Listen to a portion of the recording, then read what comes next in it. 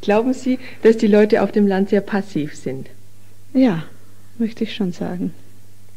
Ist auch das Dorfleben hier in Steingarten sehr ruhig? Ja. Aber wenn die Bayern ein Fest feiern, da sind die voll dabei. Welche Feste feiert man denn hier in Steingarten? 800 Jahre Feier von Steingarten, die Fahnenweih von Vereinen, bedingte Feste, die sind natürlich immer willkommen. Welche Vereine gibt es denn hier in Steingarten? Veteranenverein, Schützenverein, Trachtenverein, die sind ganz groß. Gehören Sie selber auch zu einem der Vereine? Nur zum Sportverein. Den habe ich vergessen, da ich selber dabei bin. Und was machen Sie da beim Sportverein? Tischtennis spielen, meine Söhne spielen Fußball. Gehen Sie da regelmäßig hin? Ja, so da muss schon ganz was Besonderes sein, dass ich nicht hingehe. Und die Leute, mit denen Sie Tischtennis spielen, gehen Sie mit denen auch mal aus, in Café oder zum Tanzen? Oder mal hinterher zum Kegeln. Ja? Ja. Kegeln Sie gerne? Ja.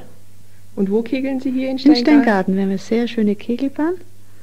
Und äh, macht Spaß, aber wenn man nicht regelmäßig kegelt, hat man einen fürchterlichen Muskelkater. Wie alt bist du jetzt? 19. Arbeitest du schon oder gehst du noch in die Schule? Nein, ich gehe noch in die Schule, ins Gymnasium. Was machst du am Wochenende, wenn du nicht in der Schule bist? Ja, wenn ich nicht in der Schule bin, wenn ich Zeit habe, Bergsteigen und wenn nicht, dann irgendwas lernen. Machst du das ganz alleine, das Bergsteigen? Na, da geht mein Bruder immer mit und ein paar Freunde. Unter der Woche, was macht er denn da am Abend so? Ja, Dienstag ist Chorprobe für den Männerchor, Freitag Kirchenchor, Mittwoch muss ich für den Trachtenverein Ziehharmonika spielen und so manchmal Landjugend. Hast du selber irgendwie Probleme innerhalb vom Dorf mit anderen Leuten? Ja, Probleme habe ich schon zum Beispiel, dass ich Angst habe, dass ich den Anschluss einmal verliere, weil ich doch momentan wenig beieinander bin mit den anderen, mit meinen ehemaligen Kollegen von der Volksschule, weil ich halt ziemlich viel lernen muss und wenig aus dem Haus komme. Sind deine Eltern Steingartner? Ja, mein Vater ist aus Steingarten, aber meine Mutter ist aus Sudetendeutsche. Und gefällt es der Mutter hier? Ja, ich glaube, dass es ihr jetzt schon gefällt, aber zuerst hat es halt mit den Leuten überhaupt kein Auskommen gehabt. Und wieso nicht? Ja, meine Mutter war furchtbar Sauberkeit gewöhnt und in Bayern haben sie es früher anscheinend nicht so gehabt mit Sauberkeit. Und jetzt ist es besser geworden, oder? Ja, jetzt hat sie meinen Vater erzogen.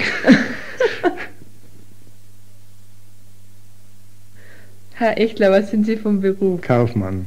Ich habe ein eigenes Geschäft in Steingarten und das habe ich meinem Sohn übergeben.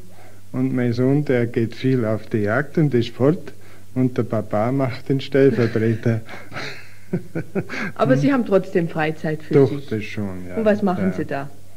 Was ich da mache, ich bin viel gesegelt, mhm. da habe ich ein eigenes Boot gehabt und da bin ich aktiv gewesen.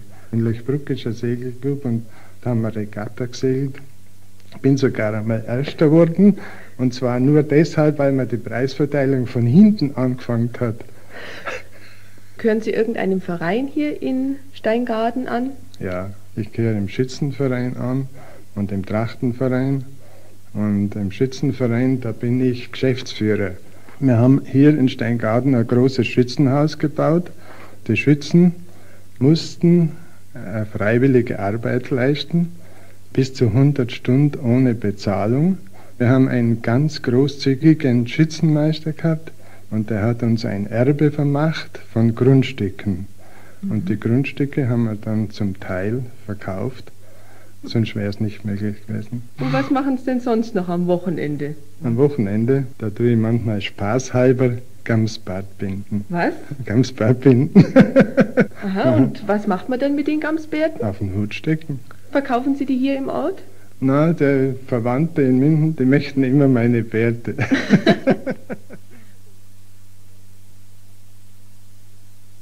Herr Jörger, sind Sie aus Steingarten? Nein, ich bin nicht hier geboren, ich stamme aus dem Schwarzwald. Seit wann sind Sie schon in Steingarten? Seit 1945 bin ich äh, Direktor dieses Unternehmens. Haben Sie dadurch eine besondere Stellung im Dorf?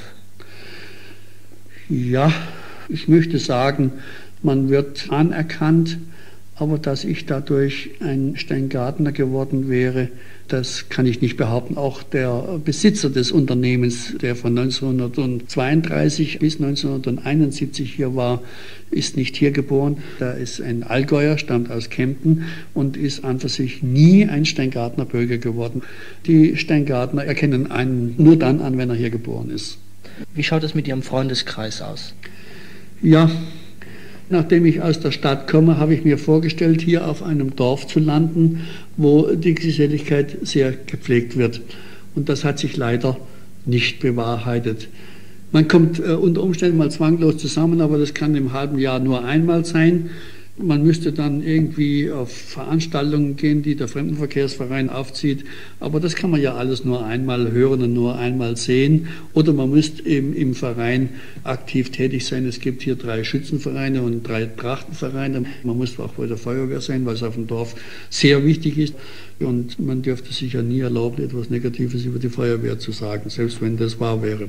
Haben Sie einen Stammtisch hier? Leider nein. Früher in Ortschaften dieser Größe hatte man einen Stammtisch. Man könnte hier sogar einen Akademiker-Stammtisch aufmachen. Es gibt also hier mehrere Ärzte. Es gibt zwei Zahnärzte. Es gibt einen Bürgermeister, der Apotheker ist. Ein geistlicher Armee. Es gibt eine ganze Reihe von Leuten, auch von Schongau haben sich hier Leute angesiedelt. Also eine fantastische Sache und haben nette Leute hier gewohnt aber man hat sich nicht getroffen. Das ist alles daran gescheitert, dass am Anfang nach dem Krieg gab es keine Möglichkeit auszugehen. Und dann später hat es dann Konkurrenzneid gegeben unter den Ärzten, unter den Zahnärzten und dann gab es Differenzen mit dem Krankenhaus, weil der Krankenhausarzt wieder nebenbei Privatpraxis getrieben hat. Also alles lauter Dinge, die dem Stammtisch hinderlich waren. Viele Freundschaften sind dann auch auseinandergegangen, weil die Frauen sich nicht vertragen haben, gell? Weil die einen einen schönen Hut gehabt hat wie die andere oder oder. Das sind so Dinge, die also von mir aus gesehen kleinlich sind, gell? aber die spielen dann doch irgendwie eine Rolle.